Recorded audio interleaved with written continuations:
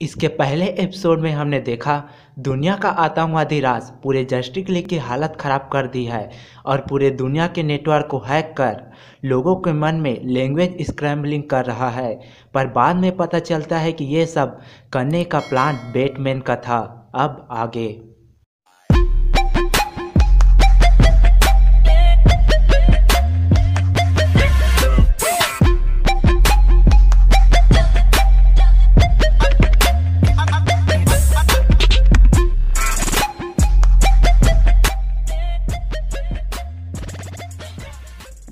Chicago के airport में लाकर 76 में प्लूटोनियम एक्सप्लोजिव बम को ट्रैक किया गया, पर नंबर मिस था। दुनिया का इको टेररिस्ट रास अल गुल ने अपने टावर ऑफ़ बेबल की मदद से पूरी दुनिया में अल्ट्रासोनिक प्रसारित किया, जिसके कारण लोगों के ब्रेन में लैंग्वेज का भ्रम होने लगा। किसी को समझ नहीं आ रहा था कि ये कौन सी भाषा है। इसका ये प्रभाव हुआ कि साउथ कोरिया के आर्मी नॉर्थ कोरिया में घुस गए, जिसके कारण युद्ध का माहौल बन गया। पर इससे बुरा हाल जस्टिक लीग के सुपर हीरो का था। एक्वामैन को डर भी से हमला किया गया, जिसके कारण उसे पानी से डर लगने लगा, पर वह बिना पानी के कुछ समय तक ज़िंदा रह सकता था। सुपरमैन रेड किप्टोनाइट के कारण उसकी पावर लॉस होने लगी और उसका स्क्रीन पारदर्शी हो गया। फ्लैश को विब्रा ब्लेड से हमला किया गया, जिसके कारण उसे हल्की गति में भी झटके लगने लगे। ग्रीन लेंटर्न अंधा हो गया, वंडर वुमेन अपने ही दिमाग के भ्रम में फंस गई और मैन हंटर हवा के संपर्क में आते ही जलने लगा। और दूसरी तरफ़ बैटमैन राज के गुंडों से पीछा छुड़ा रहा था और दौड़ते हुए पर्वत के मुहाने में फंस गया। बैटमैन एक्वामैन से संपर्क करता है, पर टावर अब बेबल के कारण लैंग्वेज में गड़बड़ी हो गई थी। अब बैटमैन के पास दो रास्ते थे, या तो राज के गुंडों के हाथों से गोली खाकर मर जाए, या फिर हिमालय पर्वत से कूदकर अपनी जान दे दे। तभी बैटमैन ने वहाँ से जंप कर दिया। रास के गुंडों को लगा बैटमैन की आत्मा परलोक चली गई, पर बैटमैन एक पत्थर पर लंगूर की तरह लटका था। एक्वामैन भी चक्कर खाकर गिरने लगा, पर प्लास्टिक मैन ने आकर उसे थामा। कुछ समय बाद एक्वामैन रेगिस्तान में था। वह समझ नहीं पा रहा था कि वह कैसे रेगिस्तान पहुँच गया। पर यह उसके दिमाग का भ्रम था। प्लास्टिक मैन वंडर वुमेन के वी आर चिप को उसके दिमाग से निकालने लगा। सुपरमैन पर रेड क्रिप्टोनाइट का बहुत बुरी तरह से असर हुआ था। उसकी सोलर एनर्जी आँखों से हीट बनकर निकल रही थी। सुपरमैन ने किसी तरह खुद को संभाला, फिर फ्लैश के विब्रा बुलेट को हीट से उड़ाया। फ्लैश बोलता है मैं इस दर्द को बता नहीं सकता हूँ कि मुझे कितना दर्द हुआ। मैं हर पल मरने की प्रार्थना कर रहा था। पूरे लीग धीरे धीरे संभलने लगी। मैन हेंटर बोलता है, तुम अंधे पोस्ट हाइप्नोटाइक के कारण हुए, जिसे तुम्हारे रिंग पर रखा गया था, पर मैंने इसे हटा दिया है। ग्रीन लेंटर बोलता है, जब मैं सो रहा था, तब किसी ने यह काम किया होगा। पूरी दुनिया आग से जल रही थी। टावर अब बेबल ने सभी का दिमाग खराब कर दिया था। किसी को भी किसी की लैंग्वेज समझ नहीं आ रही थी। पूरी तरह से नेटवर्क जाम हो गया था। यह नज़ारा अंतरिक्ष से देखते ही सभी सुपर हीरो चौंक पड़े। तो दूसरी तरफ़ रास के हेडक्वार्टर में टालिया घर पहुँच गई थी। इस सारे घटना के बारे में अपने पिता को बताती है। उसके पिता सुनते ही खुश हो जाते हैं। जैसे चाहते थे दुनिया वैसे ही चल रही थी। तभी एक सोल्जर आकर बोलता है बैटमैन हिमालय से कूदकर अपनी जान दे दी। टालिया बोलती है, क्या तुम्हें उसकी लाश मिली? सोल्जर बोलता है, नहीं। तालिया थप्पड़ मारते हुए बोलती है, जब तक उसकी बॉडी नहीं मिल जाती है, तब तक तुम कैसे बोल सकते हो कि बैटमैन मर गया जाओ और उसका बॉडी लेकर आओ। पर जिसने थप्पड़ खाया, वह बैटमैन था। सुपरमैन बताता है कि यह सभी प्लान बैटमैन का था, जिसके कारण हम सबको इतनी तकलीफ़ हुई। वंडर वुमेन बोलती है, पर बैटमैन ऐसा क्यों करेगा? मैन हंटर बोलता है, किसी ने उसके बैट प्लेन को टैग कर हमारी कमज़ोरी निकाली होगी। फिर प्लान के साथ हमला किया होगा। बैटमैन ने उनसे संपर्क किया। सभी वहाँ से बाहर जाते हैं। बैटमैन अपने घर की तरफ़ बढ़ रहा था, तभी सुपरमैन आ जाता है।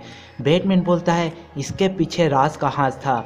हमें एटलांटिक जाना चाहिए, जहाँ से लैंग्वेज स्क्रैम्बलिंग हो रहा है। जस्टिस लीग की टीम पहले से वहाँ पहुँच गई थी। बैटमैन बोलता है, सभी यही है। सबसे पहले हमें इस टावर को नष्ट करना होगा। ग्रीन लेंटर्न और वंडर वुमेन, बैटमैन की बात पूरी सुने बिना ही आगे बढ़ गए। तभी राज के गुंडे वहाँ आ गए। सुपरमैन और फ्लैश टावर के अंदर गए। वंडर वुमेन और ग्रीन लेंटर्न उनके फाइटर प्लेन पर हमला किया। सुपरमैन के अंदर जाते ही रेड लाइट जली। सुपरमैन घबरा गया। फ्लैश बोलता है, ये बस अलर्ट सिग्नल है। सुपरमैन बोलता है, सभी बाहर चले जाओ, मैं देखता हूँ। सुपरमैन की आँखें चमकी और अगले ही पल टावर ऑफ़ बेबल का काम तमाम हो गया। सुपरमैन आग की लपटों के साथ बाहर आया। सुपरमैन बैटमैन से बोलता है बताओ क्यों बैटमैन बोलता है, मेरे पास कारण है, पर मैं खुश नहीं हूँ कि रास ने तुम लोगों के साथ ऐसा किया। रास ने मेरे कंप्यूटर को हैक कर सभी जानकारी निकाल ली। सुपरमैन बोलता है रास को अब हमारे बारे में सब कुछ पता है।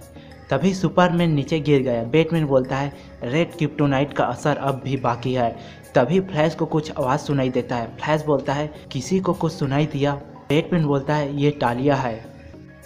टालिया बोलती है, मेरी बात ध्यान से सुनो। ये मैसेज मैं तुम्हारे दिमाग तक पहुँचा रही हूँ। तुम लोगों को लग रहा हो कि टावर को नष्ट करने के बाद जीत गए हो, पर नहीं।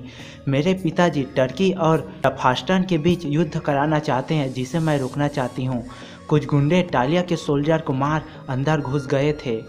लीग के सभी मेंबर सोचते हैं कि हमें राज के बेटी पर भरोसा करना चाहिए कि नहीं। टालिया बोलती है, हो सकता है कि मेरे पिता के पास एक और टावर ऑफ़ बेबल हो। मैं अपने पिता के खिलाफ इसलिए गई क्योंकि मेरे पिताजी एक बायो टेररिस्ट हैं। और वो बायोकेमिकल विपन की मदद से टर्की पर हमले करने वाले हैं। मैं एक बंकर के अंदर हूँ, मेरी बात ध्यान से सुनो। तभी एक विलेन ने आकर टालिया के पैर पर गोली मार दी। फिर वह बोलता है, इसने बहुत कुछ बग दिया है, पर तुम उन्हें ढूंढ नहीं सकते हो। बायोकेमिकल विपन का नज़ारा देखना बाकी है। जॉन हर समय सोच रहा था, उसे बाहर आना चाहिए कि नहीं। वो अब भी उस पल को सोचकर काँप रहा था। इससे पहले उसे कभी ऐसा दर्द महसूस नहीं किया था, पर कब तक डर के साय में मैन हंटर जी सकता था तो वहीं एक्वामैन को लगता है कि वो रेगिस्तान में सेफ़ है। और रेगिस्तान पर पानी देखते ही भागने लगा। पानी का जीव पानी में ही दम घुटने लगा।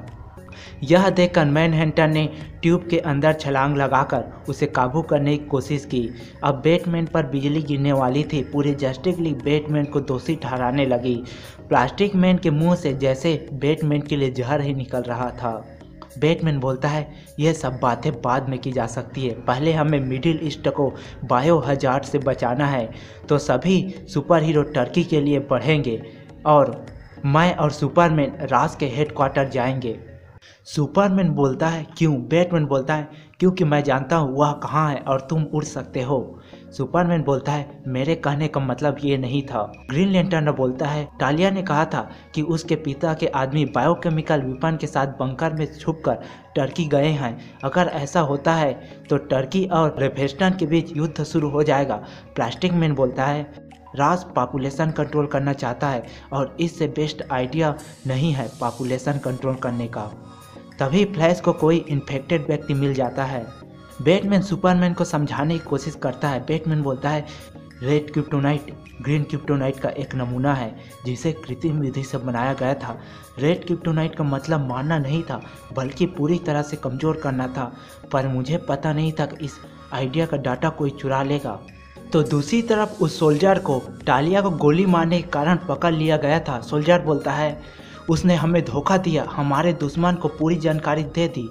राज बोलता है, पर तुम्हें पता है ना कि वह मेरी बेटी है, फिर भी तुमने उस पर गोली चलाने की हिम्मत की, इसे शेर को खिला दो। तभी सुपरमैन वहाँ आ जाता है और उसको बचा लेता है, पर अगले पर सुपरमैन के सामने शेर था। ग्रीन लेंटर्न उस एरिया को ढक लेता है ताकि कोई इन्फेक्टेड ना हो। तभी कुछ लोग आ जाते हैं और वंडर वुमेन को बताते हैं कि कुछ व्यक्ति जो मास्क पहने थे, उनको सिटी की तरफ़ जाते देखा। मास्क मैन लोगों पर हमला करने के लिए तैयार थे, फिर उन्होंने लोगों पर गोली की बरसात कर दी। तभी वंडर वुमेन आ जाती है और गोली को रोक लेती है। फिर प्लास्टिक मैन उस गुंडे को पकड़ लेता है, पर एक व्यक्ति बाकी था जिसके पास बायोकेमिकल विपन थे। वंडर वुमेन लाशों को फेंका, वह बच्चे से दांत टकराया, बच्चे नीचे गिरने लगे। तभी वंडर वुमेन ने बच्चे को बचाने के लिए जंप किया। वह व्यक्ति भी नीचे गिरने लगा और बायोकेमिकल के हथियार के बटन दब गए। तो दूसरी तरफ़ सुपरमैन जानवर को पिंजरे में कैद कर लिया। बैटमैन बताता है कि रास ने उसके पेरेंट्स के बॉडी को चुरा लिया है और लावे के ऊपर रखा है। सुपरमैन खिड़की तोड़ते हुए आगे बढ़ता है और ताबूत को पकड़ने की कोशिश करता है। तभी रेड क्रिप्टोनाइट चमकी। सुपरमैन लावा में गिरने लगा। बैटमैन बोलता है टालिया कहाँ है? रास बोलता है, मुझे पता है, डिटेक्टिव। मुझे धोखा देने के बाद वह भाग गई, पर मैं उसे ढूंढ लूँगा। फिर उसे इस धोखे के लिए सज़ा दूँगा। उसने मेरे सभी प्लान पर पानी फेर दिया। रास ने बटन दबाया और ताबूत नीचे गिरने लगी और सुपरमैन लावे में गिरने वाला था। तभी किसी ने रस्सी फेंकी। एक्वामैन ने सुपरमैन को बचा लिया और ताबूत को मैन हंटर ने बचाया। तब तक राज भाग चुका था। तभी डॉक्टर केन भागने लगा। डॉक्टर केन को पकड़ लिया गया, जिसने टावर अब बेबल बनाया था। सुपरमैन बोलता है, डॉक्टर केन हमारे पास है वो इसके बिना टावर अब बेबल नहीं बना सकता है। तो वहीं डॉक्टर केन को भी पता नहीं था कि राज कहाँ भागा। तो दूसरी तरफ़ प्लास्टिक मैन ने बच्चों को बचा लिया और वंडर वुमेन ने आतंकवादी को पकड़ लिया। सिर्फ़ राज को पकड़ना बाकी था। आतंकवादियों की कहानी खत्म हो चुकी, पर बैटमैन के लिए फैसला लेना बाकी था। पूरी जस्टिस लीग की टीम आपस में डिस्कस करते हैं कि टीम में बैटमैन होना चाहिए कि नहीं। सभी इसके लिए वोट करते हैं। वंडर वुमेन प्लास्टिक मैन और एक्वामैन ने निष्कासित करने के लिए वोट किया, क्योंकि उन्हें लगता था कि बैटमैन पर भरोसा नहीं कर सकते हैं। तो वहीं फ्लैश ग्रीन लेंटर्न और मैन हंटर ने बैटमैन की टीम में रखने के लिए वोट किया, क्योंकि उन्हें लगता था कि बैटमैन के योजना पर एक तर्क बिंदु था। इस फैसले के लिए एक्वामैन और मैन हंटर आपस में झगड़ने लगे, पर आखिरी फैसला बाकी था, जो कि सुपरमैन का था। सुपरमैन बोलता है, आप उसे वोट कैसे कर सकते हैं, जो हमें सबसे ज़्यादा जानता है? जब वो सभी कमरे में प्रवेश करते हैं, तब बैटमैन वहाँ पर नहीं था। सुपरमैन इससे आश्चर्यचकित नहीं होता, क्योंकि बैटमैन जानता था कि उनका फैसला क्या होगा। एक बार फिर बैटमैन ने साबित कर दिया कि वो सभी से आगे हैं। पर अब बैटमैन के बिना जस्टिस लीग कैसे होगी?